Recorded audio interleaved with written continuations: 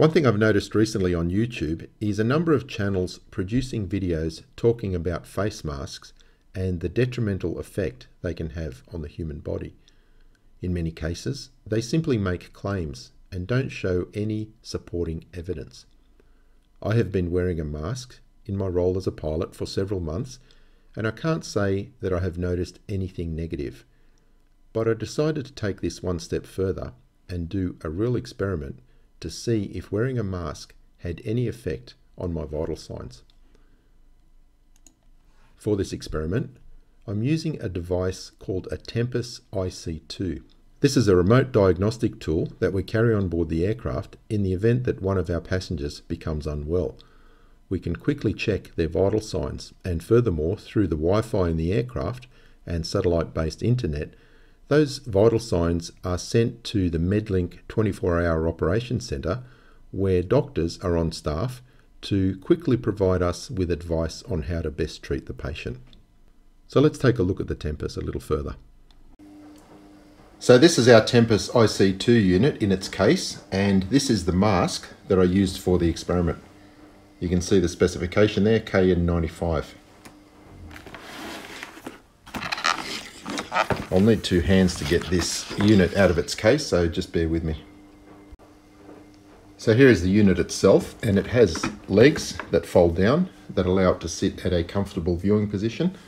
On the back, we have a blood pressure cuff and the pulse oximeter, which goes on the finger and measures your oxygen saturation in the blood.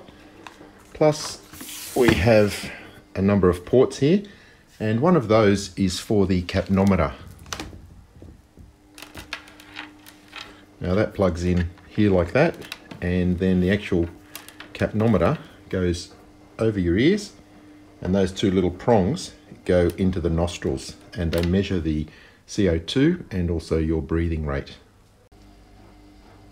So this Tempus can operate as a standalone unit but what makes it so powerful is that when we turn it on it connects to the aircraft Wi-Fi, which is satellite based, meaning we have service all over the world, and allows the information from the unit to be sent to the Medlink Operations Center in Phoenix, Arizona, where they have doctors available 24 hours a day to look at the information coming from the patient and to provide pilots and crews with recommendations as to how we should treat them and what medication we should give them from the first aid kits.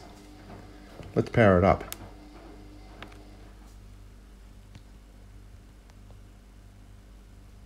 Now the first thing it will try to do is connect to the Wi-Fi.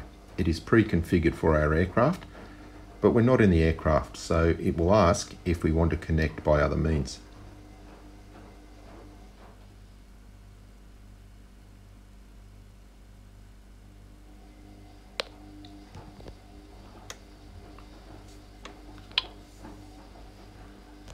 So it's trying to connect by Wi-Fi. It won't be able to do that. We're not on the aircraft.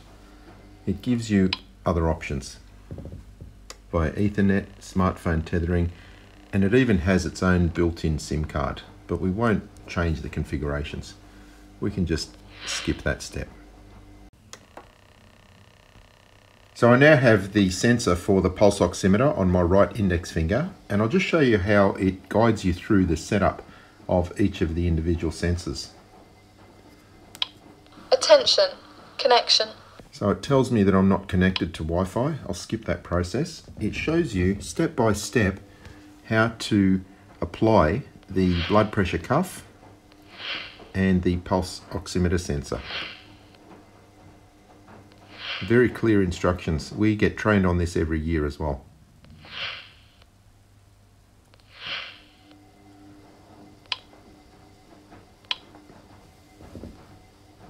Now, at the moment, it's only sensing my pulse rate and my oxygen saturation.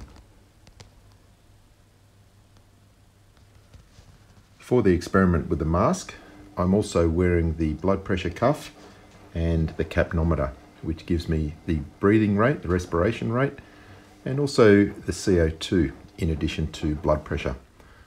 I did the experiment for more than 20 minutes, initially without the mask, allowing the readings to stabilize.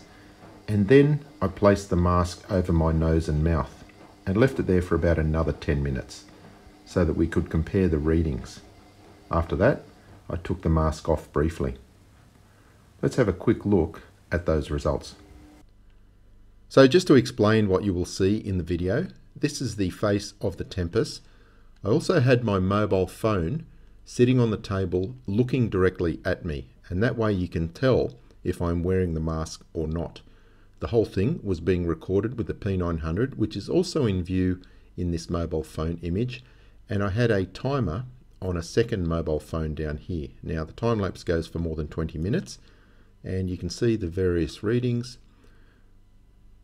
just around the 11 minute mark, I put the mask on and I leave it on for a period of time and then I remove it again. Now you'll see the pulse rate, the oxygen saturation, my respiration rate, the CO2 and the blood pressure. The unit is taking regular readings of all those statistics.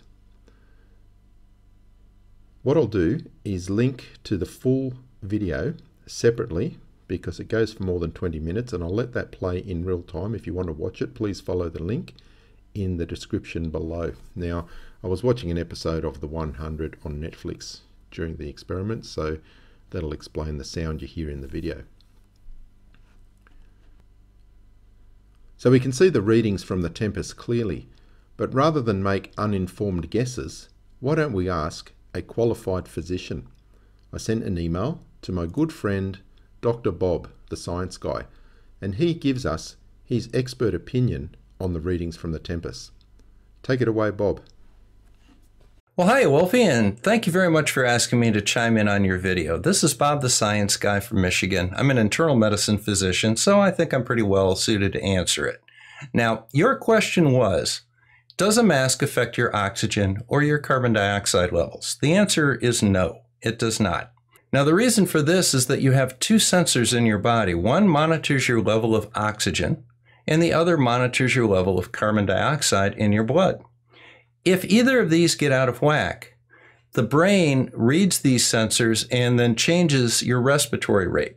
So, in short, if your carbon dioxide levels start sneaking up a little bit, your brain will make you breathe a little faster to blow that excess carbon dioxide off and bring it back down into the normal range.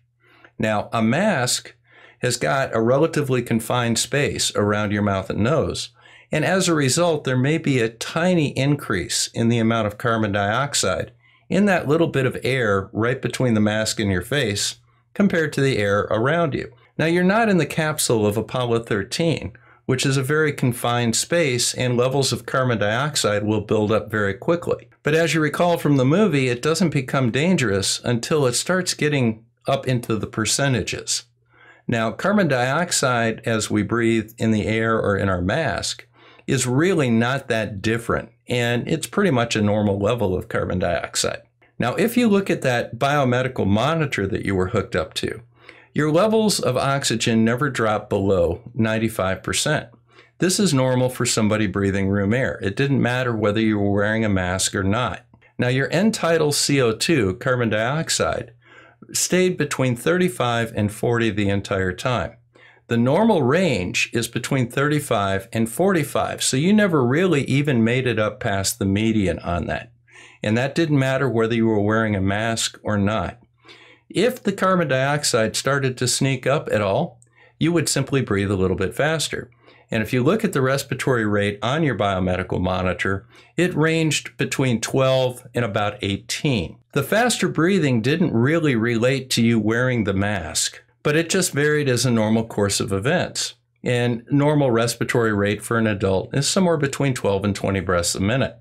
So I don't really think that you ever ran into a problem due to that mask with your blood chemistry. Now, there is a problem that can occur with a mask, and that is anxiety. If you are a very anxious person, having something surrounding your mouth and your nose can cause an increased level of anxiety. That's rather simple to address. All you have to do is get used to wearing the mask. Do it in a place where you're comfortable, such as your home. While you're watching TV one night, wear the mask for half an hour, take it off. Next night, wear the mask for an hour, take it off. And before you know it, I mean, wearing the mask to the grocery store or the gas station or even to work or school really won't be a big deal. I've been wearing masks for over 30 years for hours at a time while doing work. And I don't even notice that I'm wearing one. It certainly doesn't affect my breathing. Now, if you deal with somebody that has a chronic lung disease, they may be running a higher than normal CO2. They may be running a lower than normal oxygen level. But putting the mask on is not going to change them very much from room air. If they're already on supplemental oxygen, the mask will not affect that at all.